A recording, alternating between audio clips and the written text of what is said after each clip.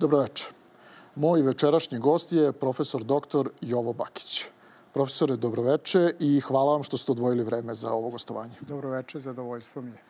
Uh, ono o čemu sam ja hteo da razgovaram je, hteo sam prosto da vas izmestim iz jedne medis, iz jednog medijskog kalupa u koji su vas stavili poslednjih par godina, zanemarujući sve ono čime se vi usko stručno bavite, a što je vrlo zanimljivo ne samo akademski gledano, nego prosto za ovaj narod bi bilo dobro da, da zna nešto više o tome, a to je nešto na čemu ste i vi doktorirali, to je Jugoslavija, nastajanje i ono što je još bolnije bilo razaranje njeno, pa ćemo nadam se u ovih 60 minuta uspeti da se dotaknemo svih nekih važnih tema. E, evo, pre nego što su se upalile kamere, računali smo 105 godina će biti od e, stvaranja kraljevine SKS i krenuo bih od onoga što je vaša negde teza da je stvaranje i nestajanje Jugoslavije usko povezano sa Nemačkom. E, I vi negde iznosite to da što je Nemačka jačala, Jugoslavija je slabije, sla, slabila i nestajala, a opet s druge strane što je Nemačka bila slabija, Jugoslavija je bila jača. Hajmo da krenemo od toga. Da li je zaista tačno ono kako ste rekli da, da su velike sile odlučile da Habsburška monarhija živi, Jugoslavije ne bi bilo? Naravno, naravno. Dakle, sve do polovine 1918. godine e, želja je bila saveznika da Habsburška monarhija opstane. Ona je vekovima postojala. I ona je bila neki jemac stabilnosti, a velike sile to vole. Dakle, umesto da imate nacionalizme malih nacija koje su stalno izvor neke nestabilnosti. Vi imate jednu veliku kosmopolitsku imperiju koja zapravo pacifikuje prostor. Problem je bio taj što Habsburška monarhija nije pristajala na primirje, separatno primirje ili separatni mir u stvari, koji bi je odvojio od Nemačke i njenih ciljeva na Balkanu. To je nekoliko puta su saveznici to nudili, Habsburzi su odbijali i onda je došla odluka, ok, dakle vi ćete uvek biti sa Nemačkom, moramo vas rastoriti. Trebalo je naći zamene. Šta imati umesto Habsburške monarhije, i onda su nastale, u to vreme se mislilo mala država ne može e, postojati, ona nije dovoljna da bi obezbedila privredni, politički, kulturni razvoj naroda u njenim granicama. I onda je doneta odluka da se ona, Habsburška monarhija, rasturi, da se stvore Čekoslovačka, kraljevina Srba, Hrvata i Slovenaca, Velika Rumunija. Dakle, neke političke zajednice koje bi bile dovoljno velike, a da međusobno sarađuju i da predstavljaju sanitarni kordon kako prodoru bolševika koji su nazivani kao uh, azijske horde, orijentalne, varvarske azijske horde. Dakle, s jedne strane sanitarni kordon prema bolševicima, s druge strane sanitarni kordon prema pobeđenima u Prvom svetskom ratu, odnosno Nemačkoj, Mađarskoj, da, da, dakle, da se prvenstveno spreči drang na hosten nemački, dakle da se to Nemačkoj ne dozvoli.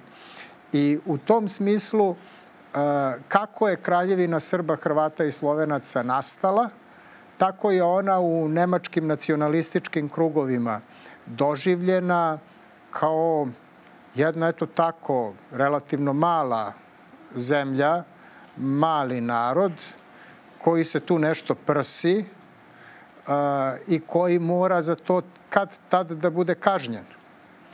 I otad nastaje ono što nazivam uh, dijalektika srpsko-nemačkih ili jugoslovensko-nemačkih odnosa u kratkom 20. veku. Dakle, po britanskom uh, ili britansko-jevrejskom istoričaru Eriku Hobsbaumu, uh, kratak 20. vek traje od 914. do 991. Uh, kada Kraljevina Srba, Hrvata i Slovenaca nastaje, Nemačka je bila porežena. Uslov za nastanak Kraljevine Srba, Hrvata i Slovenaca je nestanak one stare Nemačke, dakle Nemačkog rajha kao velike sile. Nastaje Vajmarska republika, takođe je važna, ali recimo Sarska oblast je uh, okupirana, um, užasne reparacije su nametnute Nemačkoj. Dakle, ona je bila ponižena, pobeđena i ponižena. Um, kada drugi svetski rat počinje, to je 939. 1. septembar, opet čisto zanimljivosti radi, 26. avgusta je potpisan sporazum Cvetković-Mačak. Dakle, tog sporazuma ne bi bilo, odnosno srpska politička elita na njega ne bi pristala. Da nije bilo oblaka nad njom. Svejedno, 941. kao između ostalog 27. marta vi dajete jedan jasan odgovor Trećem rajhu Hitlerovom da ne pristajete na ono što on traži, na ultimatum, na pristajanje uz trojni pakt i kao proizvod toga imate napad Trećeg rajha na Kraljevinu Jugoslaviju, njeno razbijanje. E, I sad vidite, e, kraj Prvog svetskog rata to je nemački poraz i rađanje Kraljevine Srba, Hrvata i Slovenaca kao proizvoda srpskih ratnih težnji. Dakle, Niška deklaracija iz decembra 1914. jasno kaže ratni cilj je ujedinjenje svih Srba, Hrvata i Slovenaca. Pa onda imate 41. kraj Jugoslavije u vreme kada je Nemačka, nacistička Nemačka, najjača sila u Evropi. Pa 45. Nemačka je podeljena na okupacione zone, dakle potpuno poražena u ratu, okupirana, e, rasparčana, a nastaje socijalistička Jugoslavija. I onda na kraju 88. godine, 9. godine, Nemačka se ujedinjuje, Berlinski zid je pao, a e, Jugoslavija dve godine docnije polako biva razaranom. I u tom smislu vi tačno vidite kada je e, Nemačka slaba, onda je ideja jugoslovenstva moguća e, i moguće je da Srbi budu nosioci te ideje. Kada Nemačka nije jaka ili je najslabija, onda je moguće da zapravo srpski nacionalni ciljevi, jer to današnji nacionalisti ne razumeju, e, srpski nacionalni ciljevi su bili najpotpunije ispunjeni u Jugoslaviji. Dakle, e, to je ono kada vi e, možete da se razmahnete, da budete svi u, u državnim granicama i danas je koliko i smešno, toliko i tužno kad vidite nacionaliste kojima je Jugoslavija za sve kriva. A to je samo svedočanstvo neistoričnog gledanja na prošlost. Da, vi čak navodite negde ovde primjer Jovana Cvića, koji je bio iskreni Jugosloven, a opet i, i srpski nacionalist. Naravno, i Jovan Cvić, i Jovan Skerlić, i Stojan Novaković. Pazite, to su ljudi različitih idejno-političkih opredeljenja. Skerlić je bio socijalista, Cvić je bio jedan radikalni demokrata, Stojan Novaković je bio konzervativac, jedan prosvećeni konzervativac. I svi oni su bili saglasni u tome da je jedna Jugoslavija optimalno rešenje za ostvarenje srpskih nacionalnih ideala. E sad, čovek danas bi rekao, pa kakvi su to, otkud njima to? Pa vrlo jednostavno. Baš bi današnje Srbi trebalo da razumeju zbog čega je pametnim Srbima pre stotinu i više godina bilo jasno da e, srpski nacionalizam sam nije dovoljan. Dakle, e, Srbiji je priznata kraljevini, Srbiji e, je priznata odnosno još kneževini 1878. na Berlinskom kongresu nezavisnost kraljevina postaje 1881. Ali po koju cenu se i jedno i drugo dešava? Po cenu toga da je Srbija jedna vazalna e, država, da, dakle država samo po imenu i po dostojanstvu dinastije. A u stvari ona od svega zavisi od e, Austro-Ugarske. I Cvić, Skerlić, Stojan Novaković su dobro razumeli da ako želite stvarno da budete suvereni, ne da se nazivate suverenima, ne da vas tako zovu, ne da intoniraju vašu himnu kada predsednik, ne, odnosno tada kralj, negde ide. Nije to suverenost. Suverenost je kada se vi jedino pitate o onome što se dešava na vašoj teritoriji. Naravno, pod uslovom da ne činite ne znam kakve zločine i tako dalje. E, dakle, u tom smislu e, Jugoslavija je bila ostvarenje e, najluđih nacionalnih snova. Najžešći nacionalisti tog vremena srpski nisu računali da će Srbi iz vojne krajine biti deo neke velike Srbije. Velika Srbija je podrazumevala e, Bosnu i Hercegovinu, neki izlaz na more, ali je i za to trebalo krvariti. I druga stvar, e, pitanje je da li bi se velike sile s tim složile. Zbog čega? Zbog stare sumnje e, Velike Britanije na prvom mestu u to vreme danas je to raširenije još. Da su Srbi mali Rusi na Balkanu. Da su oni samo agenti Rusije. I ako je to tako, onda njih treba držati dalje. Treba ih ograničavati. I u tom smislu srpski nacionalizam koji se preusko veže sa ruskim nacionalizmom je jako štetan, jer direktno utiče na odnos drugih velikih sila prema vama. E, a Rusija do sad u istoriji nikada nije bila toliko jaka da može ceo Balkan da kontroliše. Da, i ono što je zanimljivo, vi u jednom trenutku kažete, e, kada se ovaj period vladavine Josipa Broza nazivate ga državnikom, ali s druge strane kažete da on zapravo nije imao ideju o stvaranju jugoslovenske nacije. Nije. Jer je smatrao što je vrlo zanimljivo da je jugoslovenska nacija ide u prilog kako se ta to zvalo velikosrpskom nacionalizmu.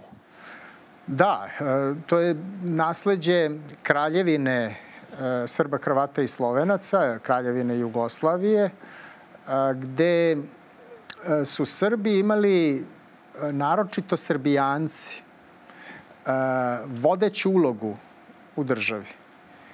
I um, ostali su se smatrali podčinjenima i smatrali su da je ideja jugoslovenstva samo jedna koprena iza koje će se pokušavati srbizovanje drugih južnih Slovena. Bilo je razloga za takvo mišljenje u diplomatiji, u vojsci, Slovenci, Hrvati nisu bili tako dobro zastupljeni kao Srbi, daleko od proporcionalnosti. S druge strane, kod komunista je vremenom pobedila, pobedila ono što ja zovem hrvatska koncepcija jugoslovenstva. Jer i tu treba znati, komunistička partija Jugoslavije je, kad je nastala, bila zapravo zastupnica takođe ove srpske varijante jugoslovenstva, samo što su smatrali da u, u tom trenutku, dakle 919. 20. i tako dalje, da ta nacija još nije nastala. Ali je njeno nastajanje jako poželjno, u budućnosti svakako treba da nastane i treba raditi pomoću prosvete i tako dalje, da, da svi južni Sloveni postanu jugosloveni, da se takvima u nacionalnom smislu osjećaju. I zapravo je sukob Sime Markovića, vođa jugoslovenskih komunista, i Josifa Visarionovića, Džugašvilija Staljina, doveo do toga da dođe do izmene te ideologije. Sad i tu ima razloga. Mislim, kralj Aleksandar je primio najveći broj belogardejaca po glavi stanovnika u čitavoj Evropi. I kao takav je bio opažen neprijateljem u Sovjetskom savezu. I Stalin je onda u novembru 1923. godine poručio jugoslovenskim komunistima da je Jugoslavija versajska tvorevina, veštačka tvorevina, da nju treba razoriti, da treba stvoriti savez eh, radničko-seljačkih republika na Balkanu, jednu balkansku konfederaciju, da je Jugoslavija zapravo sluškinja velikosrpskog nacionalizma i mm, tada Sima Marković uh, odgovara Staljinu. Oni vode polemiku uh, pseudonim Sime Markovića je bio drug Simić. Uh, vode polemiku gde Sima Marković govori da je zapravo Jugoslavija jedna dublja težnja naroda na ovim prostorima za jednom jačom državom, da je ključno rešiti klasno pitanje, pa će nacionalno biti rešeno sasvim izvesno. Stalin naravno to nije prihvatao i vremenom je Sima Marković e, smenjen vremenom sedište komunističke partije Jugoslavije prelazi iz Beograda u Zagreb. 927. se to zbiva. Komunisti postaju u tom trenutku najveći neprijatelji Kraljevine Jugoslavije, odnosno Srba, Hrvata i Slovenaca, pa kasnije Kraljevine Jugoslavije. Oni sarađuju sa Ustašama, sa unutrašnjom makedonskom revolucionarnom organizacijom, dakle sa najvećim neprijateljima Jugoslavije. I e, to traje sve do 935 kada je Stalin izdao novu direktivu, a ona je glasila da e, treba Jugoslaviju održati, da e, samo treba nju preurediti, da to postane federacija e, i to je zapravo dovelo do oblikovanja onoga što zovem hrvatskom varijantom jugoslovenstva, koja je e,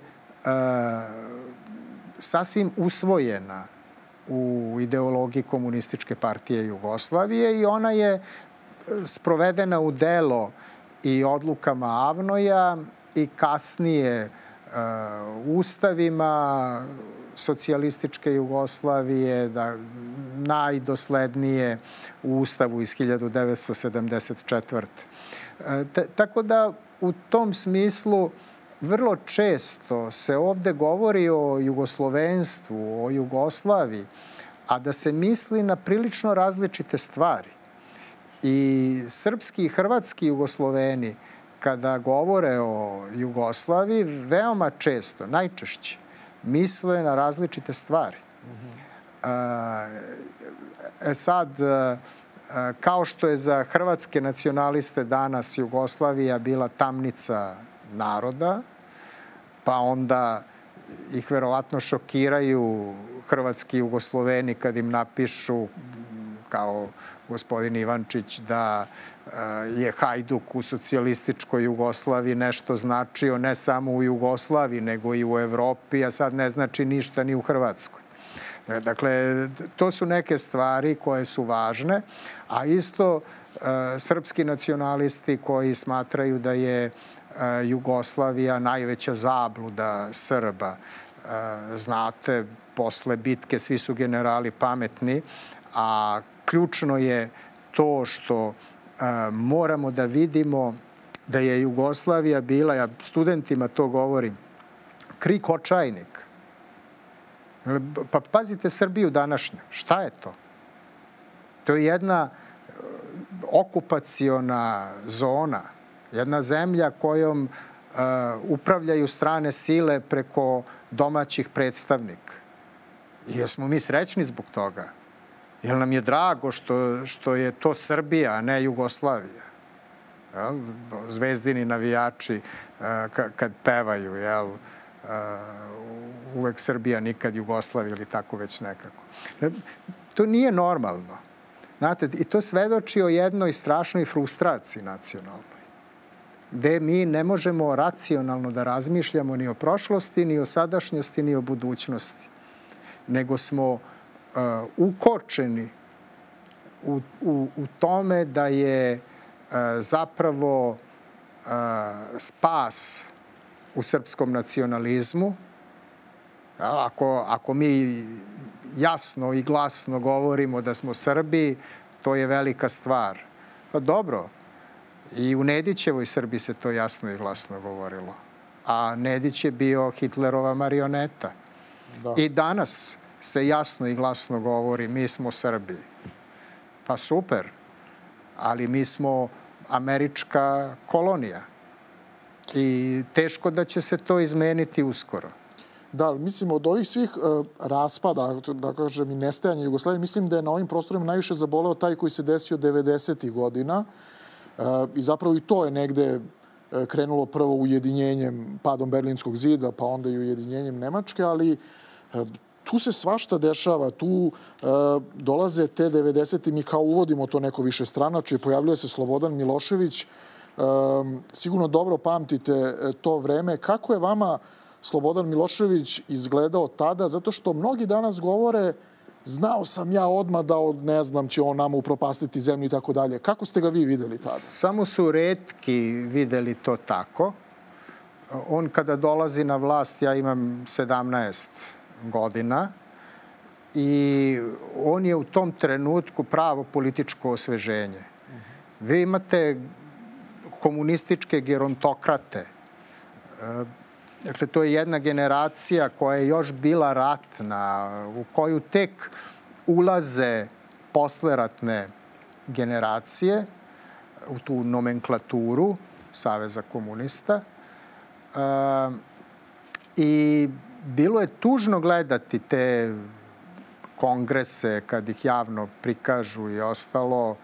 E, Ljudi čitaju već napisane tekstove, najčešće s teškoćama. I onda se pojavi čovek e, koji govori jasnim, razgovetnim jezikom, koji... Govori iz glave, da. Govori iz glave, ne mora da čita ono što mu je neko drugi napisao. Dakle, e, u formalnom smislu, naglašavam u formalnom, nikako ne u sadržinskom. U formalnom smislu on je bio prvi modern političar u Jugoslaviji tadašnjoj. Dakle, ne, rač, ne računam samo Srbiju, nego kompletnu Jugoslaviju. Bio čovek koji je imao odlike modernog političkog ponašanja. Kamera ga voli. On ne beži od novinara. Kasnije će se to promeniti, ali u tim prvim danima potpuno otvoren, to je bila velika novost. I računali su mnogi naivno, među njima sam bio i ja, da dolazi jedno otvaranje, nova e, epoha u socijalističkom razvoju. Vrlo brzo se pokazalo da to nije tačno. Da, dakle, već kad sam se vratio iz vojske 89. a opet 88. u vojsci, e, prijatelji Hrvati zaziru. Njih je to uplašilo. I ja tada to nisam sasvim razumeo. Zbog čega je to tako? Sada razumem. E, nažalost, Minervina sova najčešće u sumrak dolazi kad se neki procesi završe. Ali ta, tada, pošto su oni videli da sam ja potpuno otvoren, pričali smo najnormalnije i oni su rekli mi se njega plašimo. Kažem ja pa zbog čega, mislim, šta, šta se zbiva? Kaže pa, kaže, znaš kako deluje tako kada vi Srbi ustanete masovno, kaže mi se uplašimo. Dobro, primio sam tog znanju, iako nisam sasvim razumeo. I 89. E, kada Milošević nastavlja sa nekim starim obrazcima, između ostalog manipulisanja decom, to su pioniri koji, koji tu stoje i ostalo. Pa ide, posećuje fabrike, pa čuda. Pa niko ne sme da vas bije. Pa niko, da, da to je bilo još ranije. Dobro, dobro, ali, ali kažem sve u sklopu... Da. A, a onda e, prema opoziciji jako, jako rđav odnos. Video sam da to nije dobra stvar, da se to neće dobro završiti. Eh, ali, dakle, trebalo mi je eh, dve godine otprilike da, da shvatim eh, nešto što se zbivalo. U redu, mlad sam bio i ostalo, ali u svakom slučaju to nije bilo lako shvatiti na samom početku, zato što se on značajno razlikovao u tom formalnom nastup. Šta je po vama, je li on od početka po vama, sada kada se sagleda, imao loš u ideju, ili je od početka imao dobro, a onda u nekom trenutku se promenio i nastavio drugim putem? Pazite, e, da se vratim na ono, na našu početnu temu, dakle uticaj velikih sila. On se na Balkanu nikad ne može poceniti. Zašto? Zato što su Balkanci najčešće međusobno suprotstavljeni. I onda se velike sile lako njima igraju. U tome i jeste bio značaj i značenje ideja, ideje jugoslovenstva. To je bio zapravo jedan oblik krilatice Balkan balkanskim narodima. Dakle, nemojte vi bilo iz Washingtona, bilo iz Londona, bilo iz Moskve, Pariza, nemojte vi odlučivati u naše ime. Mi ćemo, dovoljno smo pametni, dovoljno smo zreli. Nažalost nismo. Ali uh, To je bila ideja. I sada kada se vratimo uh, na, na to uh, da se Sovjetski savez nije raspao, Milošević bi nametnuo svoju varijantu ili ako hoćete srpsku varijantu jugoslovenstva drugima. Jugoslavija bi opstala. Dakle, ključno je ono što je uh, nepomenik kazao uh, u Frankfurter Allgemeine Zeitungu, da kaže Srbi nisu shvatili da je Berlinski zid pao. Pa neki Srbi jesu shvatili, neki drugi nisu. A konkretno Milošević nije? Uh, Milošević nije shvatio. Da.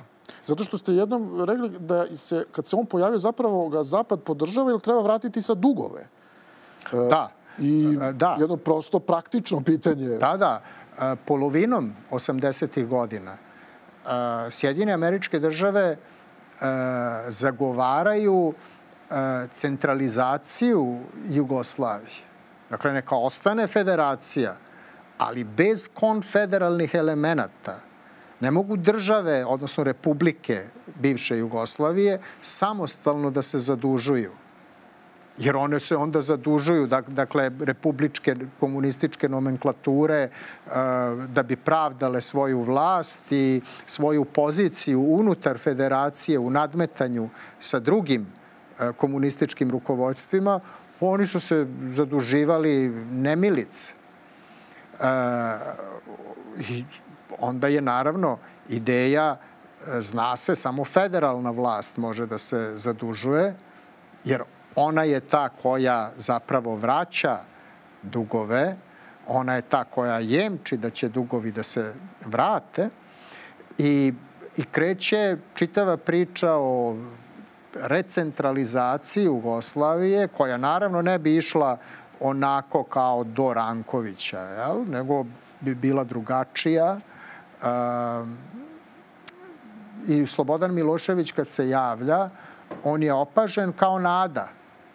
Kao nada da će Jugoslavija da postane jedna jasna država, koja može biti saveznik i Sjedinjenih američkih država i tako dalje. Međutim, posle samo dve godine to se promenilo.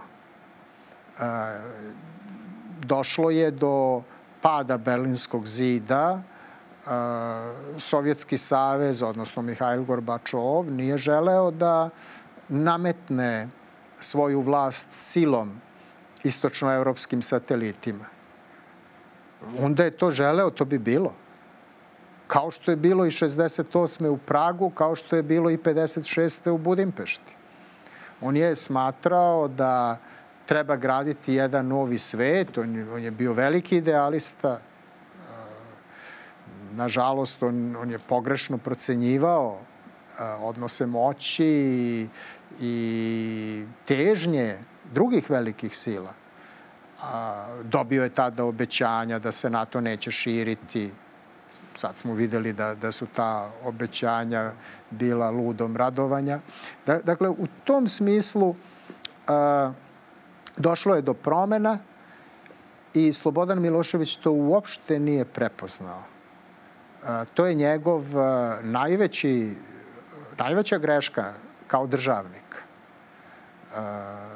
On je ovde u Srbiji imao katastrofalne greške prema političkim protivnicima, prema samim građanima, ali dobrim delom sve, sve to je rezultat potpunog neshvatanja novih geopolitičkih stvarnosti koje su nastajale 89. godine. Da, i onda dolazi onaj slučaj sa Slovenijom, a vi do duše kažete da Slovenija nije mogla razbiti Jugoslaviju, ili prosto nije imala snage za to. Tako je. Ali i onaj čuveni put Genšerovu, da. to je onako, eto, to bih volao da, da nam kažete, to je dosta presudno. Ovaj... Pa, to je, mislim, kada danas, i ne samo danas, još je više to bilo izraženo u prošlosti, jer je propagandno uvek efektno kada vi optužite jednu ličnost za sve loše što se zbiva. Tako je Slobodan Milošević bio optužen za sve rđavo što se dešavalo. Međutim, stvari su mnogo složenije i poseban je problem ta težnja Nemačke da posle decenija suzdržavanja marljivog rada na gradnji privrede. Odjedan put to postaje ne samo privredna sila, nego i politička sila. I sada treba te mišiće negde pokazati. Jugoslavija je bila prvi primer gde to treba uraditi, a činjenica da je Slobodan Milošević i Savez komunista Srbije da su uz Crnogorce poslednji napuštali uh, ideju komunizma, marksizma, uh, je doprinela da nemački konzervativci i liberali kombinuju antikomunizam sa starom antijugoslovenskom usmerenošću. I onda je antikomunizam bio izvanredno sredstvo pravdanja antijugoslovenske usmerenosti. To se najbolje vidi u pisanju velikih listova. Na prvo mesto Frankfurter Allgemeine Zeitunga i njegovog tadašnjeg saizdavača Johana Georga Reismillera, koji je stalno imao tu kovanicu panca komunizmus ili tenkovski komunizam, koji označava Jugoslovensku narodnu armiju u vezi sa tradicionalnim srpskim, kako je on govorio, srpsko-vizantijsko poimanje prava. Nasuprot njima tu su katolički demokrati, Slovenci, Hrvati. I sad potpuno jedna uh, jasno propagandistička parola koja služi za pravdanje antijugoslovenske delatnosti. I onda Genšer kao ministar spoljnih poslova, on lično čak nije izvorno možda bio toliko antijugoslovenski usmeren, ali njegovi koalicioni partneri, naročito Bavarska hrišćansko-socijalna unija koja uvek ide sa demohrišćanskom partijom Nemačke, uh, ona okuplja uh, Donau Švaben, Dunavske Švabe, Dunavske Nemce, odnosno one koji su proterani iz Vojvodine kada je Vojvodina oslobođena. I njihovi potomci su masovno lobirali za rasturanje Jugoslavije. Genšar onda putuje u Sloveniju vozom, njega zaustavljaju na carini, na granici, pardon, i tamo ga maltretiraju granični organi Jugoslavije. Naravno, on se vraća nazad, neobavljenog posla, ali još jače rešen da diplomatski, propagandno podržava Sloveniju i Hrvatsku. A e, osnovno pitanje je e, kojom ja potkrepljujem tu tezu da je Nemačka zapravo podržavala rasturanje Jugoslavije, uprkos tome što su javno, da, da ovako, da bome, da. deklarativno, javno govore ne, mi smo za udržanje da, da. Jugoslavije. I stalno ide ta priča, mi smo za udržanje, a zapravo e, oni rade i diplomatski, i propagandno, i obaveštajno na rasturanju Jugoslavije. I kako se to može vi, videti? Pa, pa eto, zamislite da je Nemačka stala uz Republiku Srpsku u Bosni i Hercegovini. I da je rekla Bosna i Hercegovina je jedna veštačka država, treba je razoriti. Ili kada je Katalonija nedavno proglasila na referendumu, dakle izglasala nezavisnost, u Madridu rekli ne dolazi u obzir i sada se nemački ministar spoljnih poslova ili ova ratobornica današnja uputi vozom u Kataloniju, da pruži podršku kataloncima. Naravno, to se nije desilo. Dakle, i tu vidite kada država stvarno, neka velika sila, podržava postojanje druge države. A drugo je ovo, kada na rečima podržavate, a zapravo sve činite da rasturite neku državu. I to je ono što se zapravo zbivalo. Nemačka uz sadejstvo Austrije, tadašnji ministar spoljnih poslova Austrije Alois Mok je sve uradio da podrži Sloveniju i Hrvatsku u secesionizmu. Neue Kronenzeitung kao verovatno najčitanija novina u nekoj zemlji ako se uporedi broj stanovnika i broj čitalaca.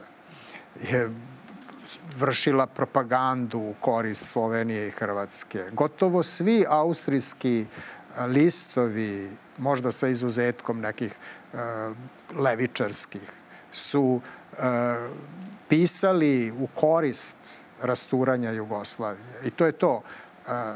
Vi Srbi ste rasturili Habsburgsku monarhiju. Sad je došlo na naplatu. Sad je došlo na naplatu. Da. isto Bonski list, Die Welt, konzervativni, tamo je Karl Gustav Ström pisao.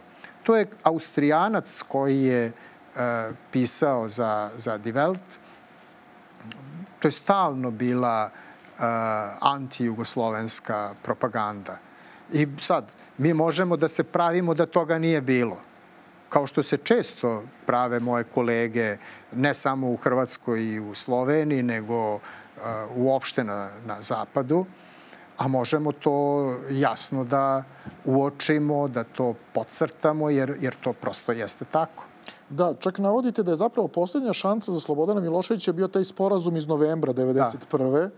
Da. gde je zapravo raspad Jugoslavije trebao da bude po republičkim ovaj, granicama. Tako je. Znate, jedno je želja Dakle, vi ste iz svega ovoga što sam ja do sad govorio mogli da zaključite da sam ja e, projugoslovenski orijentisan čovek, da e, poznato i da sam levičar. Da, dakle, međutim, e, po, postoje neki prioriteti. Ne možete, ako, ako vidite da, da ne postoje teorijske šanse da obezbedite ono zašto se borite, onda morate da štitite narod. Morate da štitite ljude. Jer je politika tu uh, radi ljudi. Džabe vam šta god ako, ako ste vi ljude unesrećili. Uh, plan Lorda Carringtona je bio zapravo plan razdvajanja republika. Dakle, opet je to razaranje Jugoslavije, da se razumemo.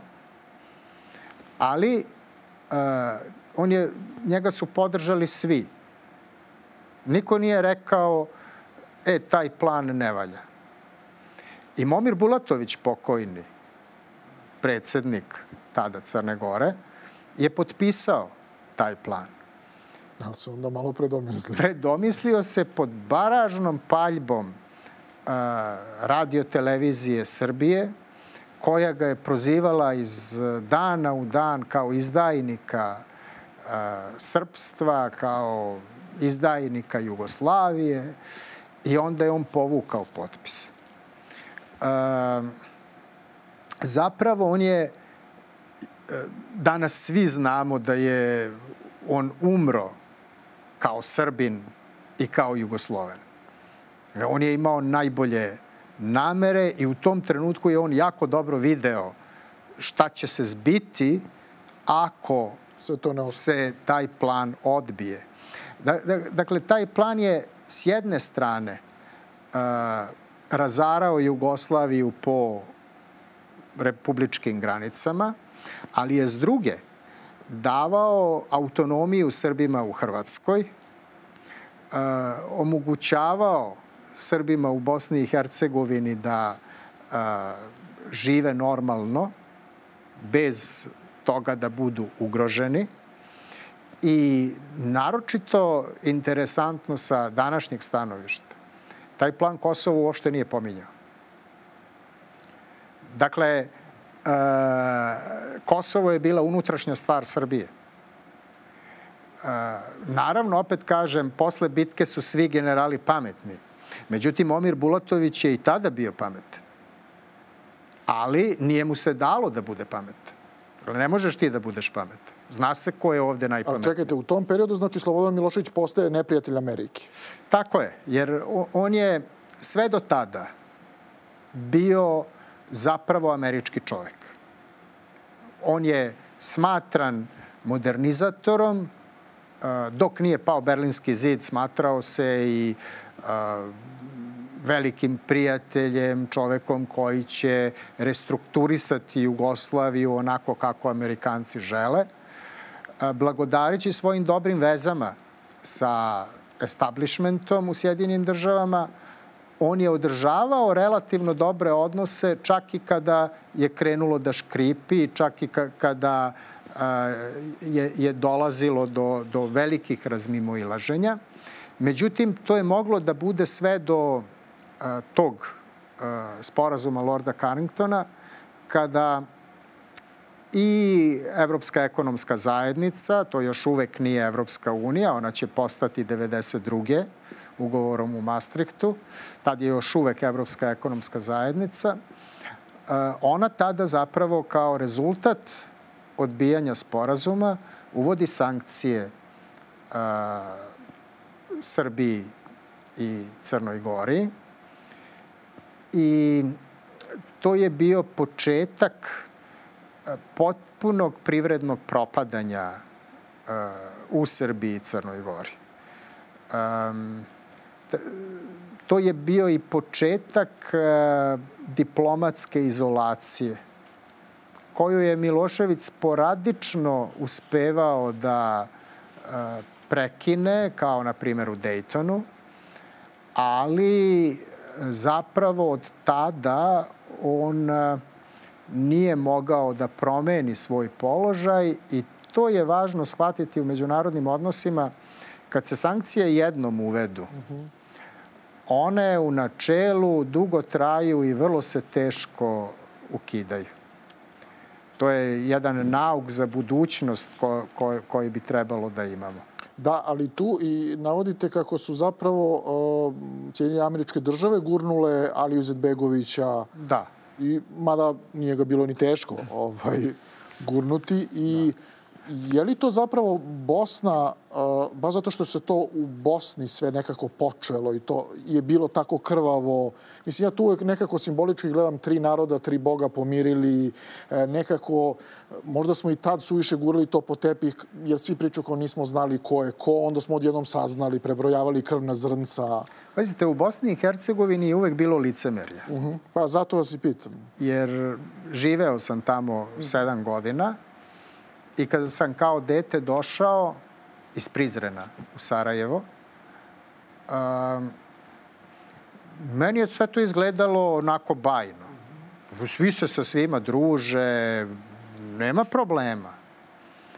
Problem bi nastajao kada ljudi ostanu u jednonacionalnom društvu.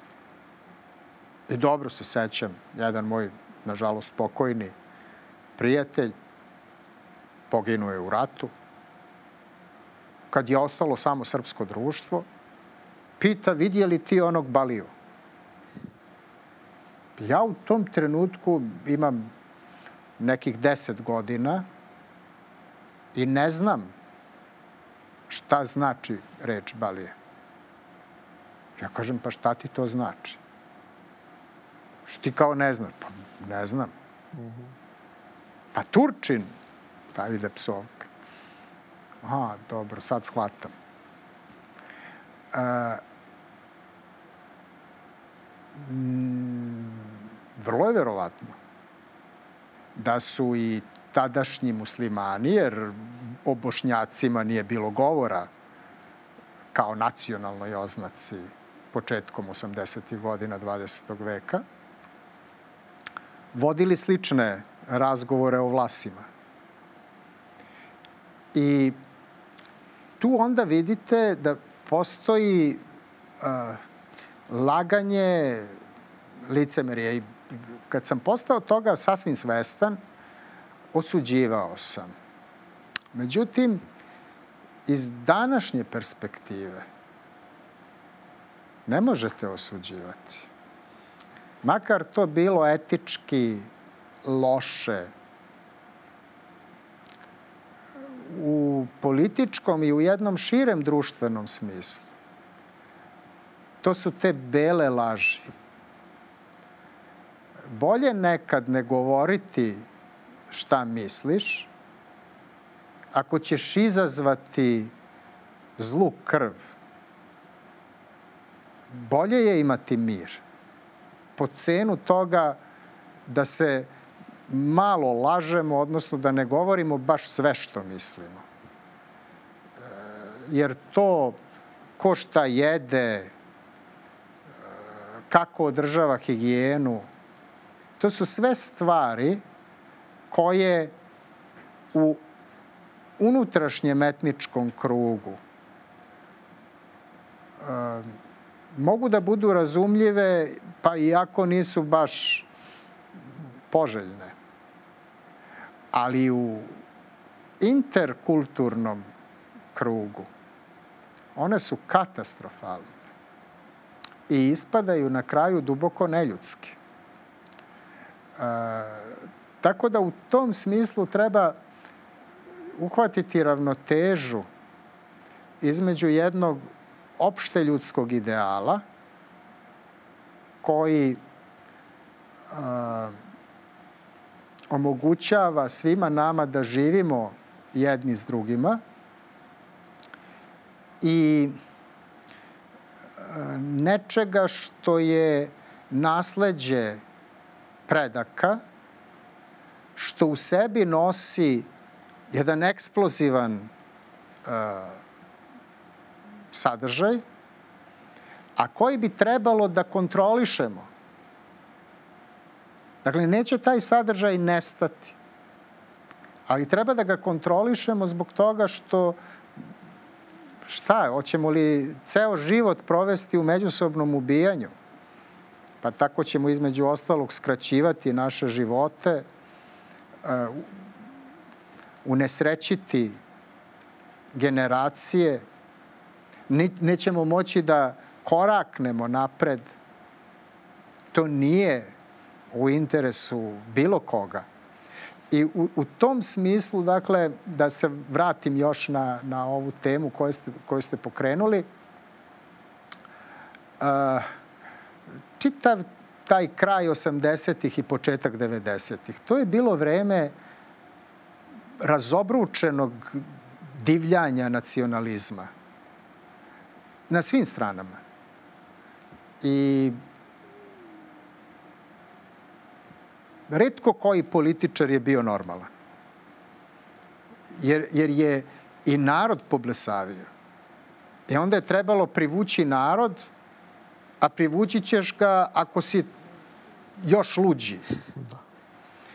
A, I onda je uh, negde Izetbegović jahao na tom talasu uh, muslimanskog uh, radikalizma, ajde to tako da nazovem. Uh, on je bio čovek posvećen uh, islamističkoj ideji. S druge strane ste imali Radovana Karadžića koji je sve činio da e, muslimane uvredi, da ih povredi. Biljana Plavšić nije mnogo zaostajala.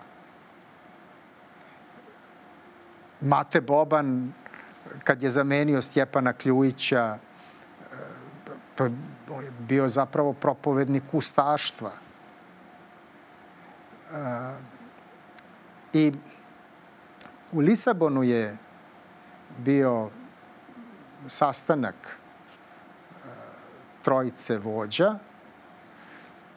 Kutiljero, portugalski diplomata, je ponudio jedan, po mom mišljenju, dosta razuman sporazum. On je zapravo išao na neku vrstu federalizacije Bosne i Hercegovine – gde bi sve tri etničke zajednice imale svoju federalnu jedinicu i ne bi imale pravo odcepljenja. A trebalo bi da, pošto nemaju pravo odcepljenja, treba onda da pokušaju da grade zajedničku državu. E, tu su prihvatili Srbi i Hrvati, potpisao je i Alija Izetbegović. I kada su se vratili svi u zemlju, Uh, tadašnji ambasador Sjedinjenih država Warren Zimmerman je pitao Izetbegovića, videli su se i kaže, gospodine predsedniče, vidim nešto ste nesrećni. I kaže on, pa kako da ne budem nesrećan, potpisao sam sporazum koji nije dobar za muslimane. On je rekao, pa kad ste nezadovoljni što ste ga potpisali. I to je bio jasan signal. Izetbegović je odmah sutradan potpis povukao i tako je krenulo sa jednim putem ko, koji je bio katastrofalan, zapravo bio je stramputica. Ali zapravo, pošto ste spomenuli da se ništa ne dešava bez uticaja velikih sila, imam utisak da i za nas tih 90-ih niko nije stajao. Iako smo mi nešto dekla, mislili da stoje Rusija. Naravno, ali... naravno, pa niko. Niko. Mislim, Mislim to, to je... Um, to, to je glavni problem zbog čega ja, ja i kažem da Slobodan Milošević nije bio državnik. Jer državnik se brine o državi i narodu. On ne brine o svojoj vlasti. Recimo, da je potpisao Carringtonov sporazum, on bi sigurno pao s vlasti. Ili, ajde, ništa nije sigurno, ali vrlo verovatno bi pao s vlasti. Ali bio bi najjači u opoziciji i vrlo brzo bi se vratio na vlast. A što mislite o Rambujevu? Rambuje to je pokojni ambasador uh, Jugoslavije u Washingtonu, Živorad Kovačević, dakle poznat kao veliki protivnik Slobodana Miloševića od samog njegovog uh, početka političkog. On je Rambuje nazvao alibi diplomatijom. Drugim rečima, sporazum u Rambujevu je bio ponuđen da bi ga Srbija odbila. Jer je bio apsolutno neprihvatljiv za bilo koga ko bi Srbiju tada predstavljao. Dakle, to nije uopšte pitanje o Slobodanu Miloševiću, nego je to pitanje za zemlju. Da li hoćete da budete okupirani ili nećete? I sad vi potpisujete hoćemo da budemo okupirani. Dakle, to niko nije mogao da prihvati. I sa, tim je, sa tom idejom je i ponuđen. Dakle, vi ćete odbiti, a mi ćemo vas tući. Jer to nam je zapravo čitava ideja. A sami Amerikanci su imali grdne muke da Hašima Tačija, koga su oni gurali da bude umesto Rugove predstavnik kosovskih albanaca, da ga konačno nagovore da potpiše, jer on nije hteo da potpiše, bio je nezadovoljno, oni su mu rekli, aman čoveče, zar ne shvataš? Samo ti, potpi... ti ćeš potpisati, onda ćemo Srbiju okriviti, pa ćemo ih tući. To je u, valjda u tvom interesu. Dakle, nažalost, to su igre ko, koje se igraju u visokoj politici, u diplomatskim igrama i ključno je da, da što više ljudi bude svesno toga. Nažalost, ovde ljudi jako malo čitaju, a vaše kolege jako malo emisija prave, ozbiljnih emisija na ove teme, nego naprave razne sprdačine, kad tako moram da kažem, gde se o, o, o ozbiljnim temama na jedan krajnje neozbiljan način raspravlja. I onda, naravno, e, narod živi u neznanju. Kad bi malo više znali, malo bismo racionalnije razmišljali i donosili odluke. Inače, ako, ako smo neracionalni, naše odluke će biti isto takve. One ne mogu da budu dobre. One ne mogu da budu promišljene.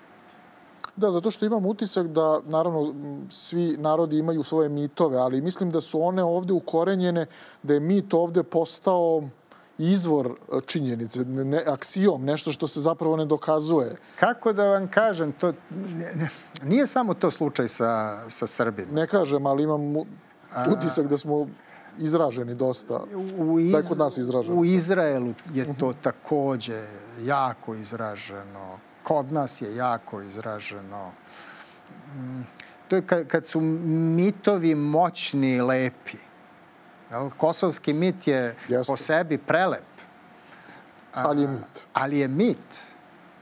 On je mit i sad e, je ključno da se na časovima istorije uh, jasno pokaže šta je mit, a šta je stvarnost. Ali znate šta je tu zanimljivo? Ja poslednje vreme vidim iz razgovora sa mladim ljudima. Oni neće da veruju Dakle, ja vam o tome i pričam. To je problem najveći. I to je e, jako pametni, bistri ljudi. Imao sam prilike da razgovaram s njima. Neće da veruju u zvaničnu ne. istoriografiju. E, kaže, to je nemačka e, istoriografija. Pazite, ti, ta romantičarska istoriografija Pante Srećkovića je razobličena e, već u drugoj polovini 19. veka. Dakle, Ilarion Ruvarac je nepobitno pokazao da su to ludosti. I, i sada vi se posle toliko godina ponovo vraćate. Znate, to ne može srećno da se završi. Znam, zato, zato mi kažem, jer eto, spomenuli smo kosovski mit koji je ovde najzastupljeniji, što u medijima, što eto, kod tih mladih ljudi. Pritom, radi se o de facto porazu. Dakle, ajde da kažemo svojničke strane, a da ne govorim dalje. Ne, to se predstavlja kao pobeda, e, kao pobeda i ne dozvoljava se da se ono što je istorijska činjenica predstavi kao, kao, kao istina. Pa, mislim da je Peđa Marković kod vas o tome pričao. Ne, ne bih ponavljao ono što, što je on kazao, je, jer isto bih rekao. Dakle, s jedne strane, mit je strahovito moćan. Uh, ali baš zbog toga potrebno je uh, da svi ljudi koji razumno misli, koji imaju znanja, da jasno kažu pa Vuk Branković nije bio izdajnik. Tako je. Nije bio izdajnik.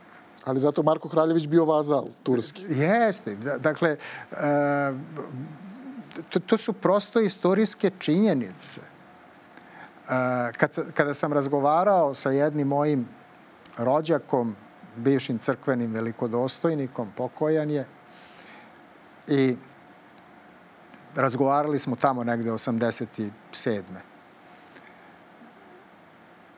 I ja mu to kažem za Vuka Brankovića. Pa kaže, u redu je to, ali je ovo lepše. Da. I sad, to je to. E, da, dakle, čovek veruje u ono što želi da veruje, a ne u ono što je u istinu bilo. To se najčešće tragično završava u političkim odnosima, u političkoj stvarnosti. Jer politika zahteva potpuno trezveno razmišljanje. Ako čovek nije sposoban trezveno da razmišlja, on će postradati. Time bih i završio i u zahvalnost što ste bili, odvojili vreme. Evo, pošto smo govorili da, da ljudi ne čitaju, ja ću ih zaista pozvati da ako žele da nešto više znaju o ovoj temi, tu je vaša knjiga Jugoslavija, razaranje i njeni tumači. E, napisali ste Evropska krajnja desnica od 45. do 2018. Vrlo korisna literatura za one koji žele da znaju. Postoji još jedna knjiga koja je nastala iz mog magistarskog rada, uh, ideologija jugoslovenstva između srpskog i hrvatskog nacionalizma od 18. do 41. Da, dakle, ja umem često da kažem, u Jugoslaviji sam se rodio i proživeo prvih 20 godina, a onda sam se u narednih, dva, sad već ima i više, ali u narednih 20 godina sam se bavio Jugoslavijom, odnosno proučavao je, jer sam morao da razumem šta se to zbilo sa zemljom u kojoj sam se rodio i koju sam voleo. Da. I to je negde možda nama put da shvatimo gde smo sada i još možda važnije gde ćemo biti. To je najznačajnije. Znate, cela prošlost se saznaje sa idejom da se greške ne ponavljaju u budućnosti. Da, da, to ste u pravu. Hvala vam još jednom na odvojenom vremenu. Hvala vama na pozivu. E, toliko za, eto, nismo uspeli, siguran sam, u ovih 60 minuta da, da obradimo jednu veliku temu kao što je nastanak i nestajanje Jugoslavije, ali evo, preporučio sam knjige, pa ostavite sve, čitajte, čitajte knjige i gledamo se naredne srede. Prijetno.